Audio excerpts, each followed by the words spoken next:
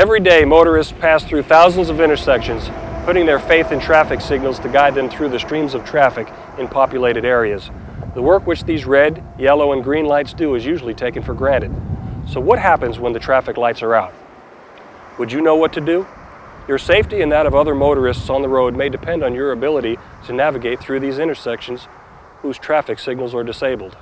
Hi, I'm Captain Victor White with the Lakeland Police Department, and in this edition of Rules of the Road, we're going to take a look at what you should do if you approach an intersection where traffic signals are malfunctioning, or even worse, completely out. In most cases, if traffic signals are not working as they normally do, the lights will simply flash red or yellow.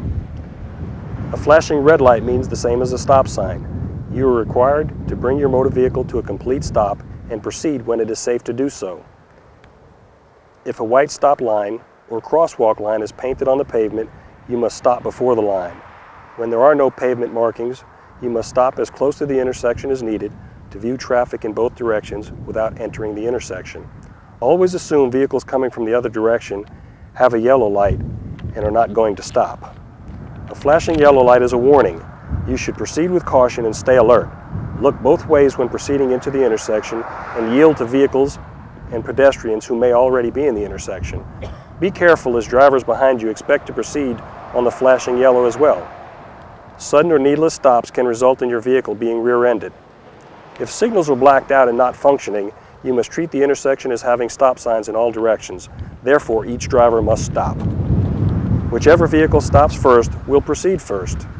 If two vehicles arrive at the same time, the vehicle on the right proceeds first. If multiple vehicles approach simultaneously, it is important for the driver to make eye contact and proceed cautiously. With the many movements by both drivers and pedestrians, an intersection is one of the most complex traffic situations a motorist will encounter. The key to safety is to be aware of the conditions around you and always be prepared to stop or take evasive action. I want to encourage you to exercise caution when entering any intersection, especially if traffic signals are malfunctioning, and have respect for all those traveling on our roadways. Because when we all drive safely and are considerate of others, it's easy to share the road.